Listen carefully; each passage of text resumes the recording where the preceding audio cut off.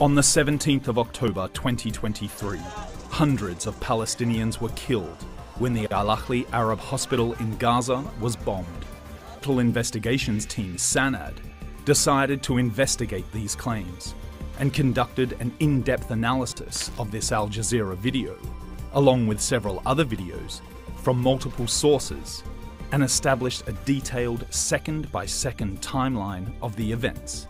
By analysing Al Jazeera's live stream starting at 1845, the team was able to identify four Israeli airstrikes on Gaza, targeting the area near the hospital.